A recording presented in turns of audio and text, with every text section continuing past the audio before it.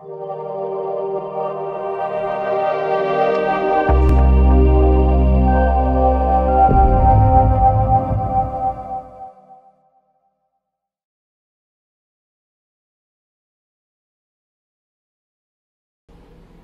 and welcome to new flight report. I am in Buenos Aires, Argentina at the airport Jorge Newbery and I totally butchered that I think. It is September 2019, a long time before we had all the restrictions on flying. I'm going from Buenos Aires to the airport of Iguazu in the north of Argentina, close to the border of Paraguay and Brazil. I'm flying on LATAM Airlines today. I will try their A320-200, which is 20 years old, in economy class for this domestic flight. Flight time today is about 1 hour and 50 minutes. This airport is more for domestic routes and much closer to the city center than the international airport.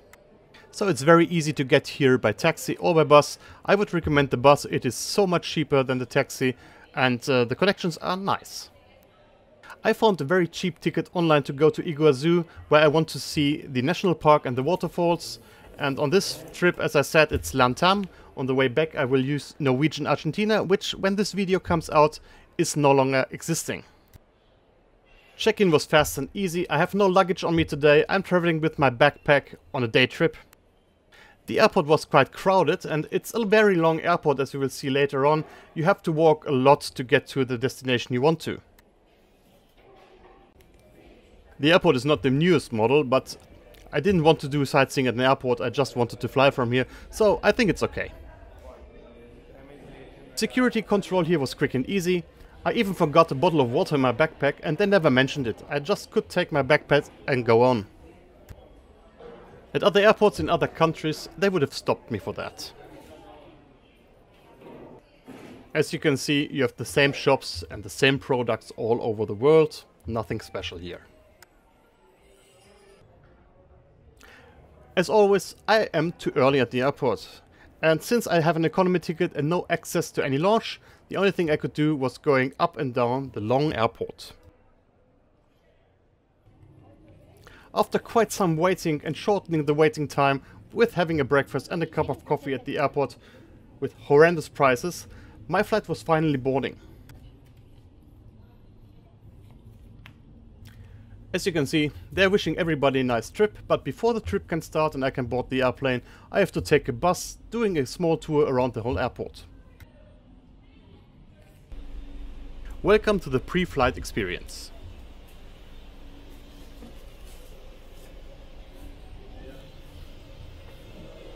And now let's take a look at some facts about my flight.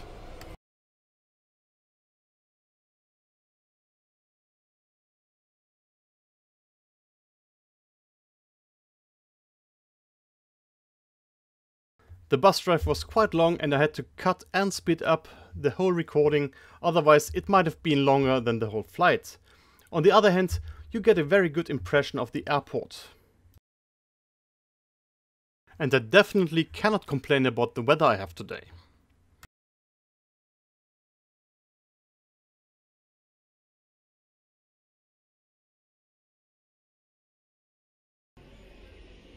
The Airbus A320-200 I'm flying on today had been delivered to LATAM Chile in 2000 and is in service for LATAM Argentina since 2008.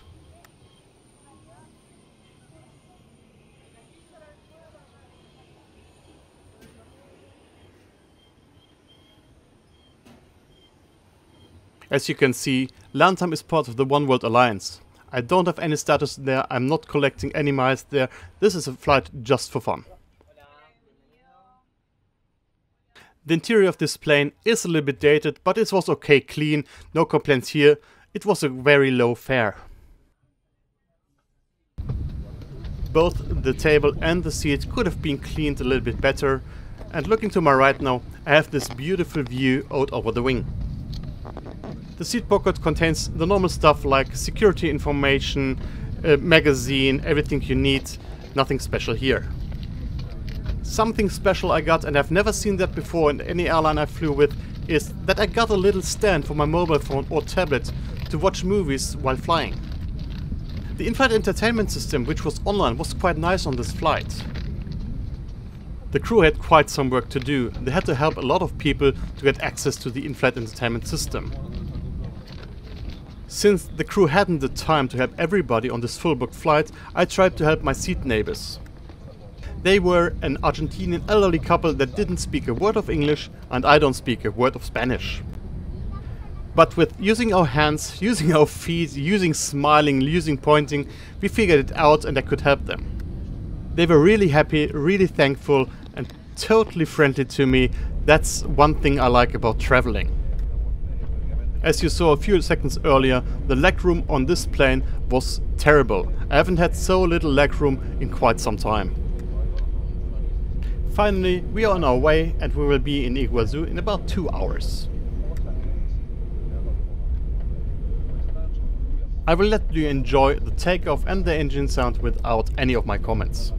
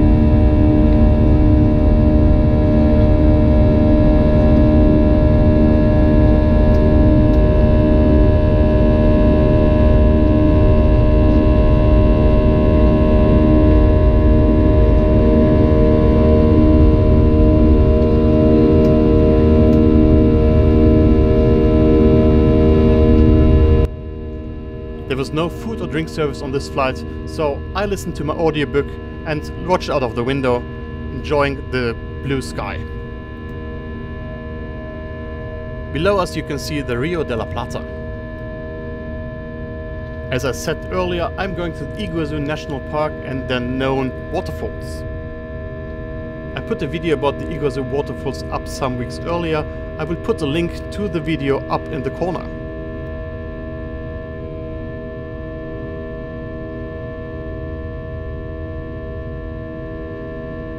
Just take a look at this beautiful view, the blue sky.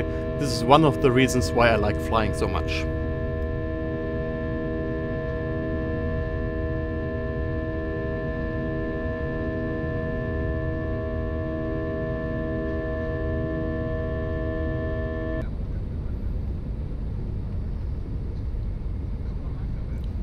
The flight was uneventful and now we are descending into Iguazu. As you see when you look outside my window, the airport of Iguazu is in the middle of nowhere in the rainforest, just surrounded by trees and nothing else.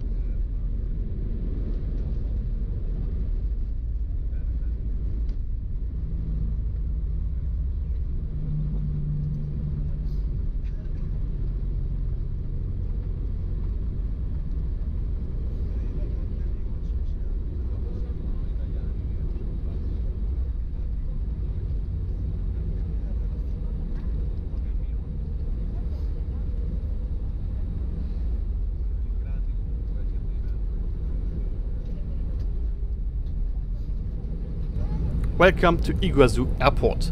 As always in my videos, I will give a short review of my flight experience today. Remember, this is my experience today on this plane with this crew. It might be a totally different experience for you. And as always, I reward 1 to 5 golden eggs for different categories.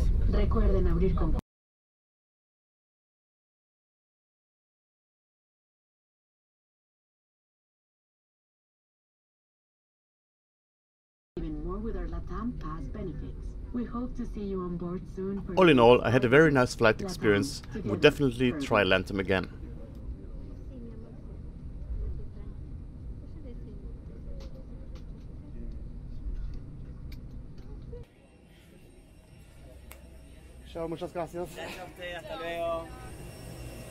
As you can see, they're updating the airport at Iguazu. And I can definitely not complain about the weather I got here.